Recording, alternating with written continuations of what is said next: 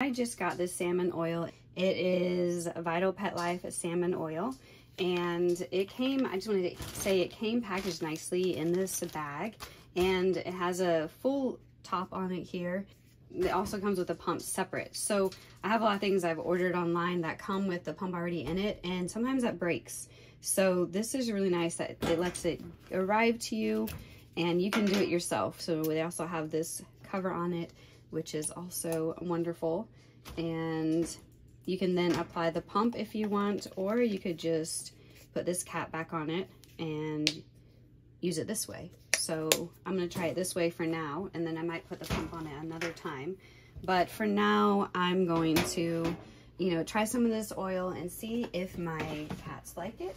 In any kind of salmon oil at all. So it says zero to 12 and a half pounds, about a half pump. Stir it up so it's not all right on top. I don't really notice a smell from it. There's maybe a tiny smell, if any, but I want to see if they like it. So I can tell it's, you know, it's wet looking and I'm gonna leave it in here where I have the rest of their food right here as well let's see, I'll just set it here next to food. We'll see if they like it.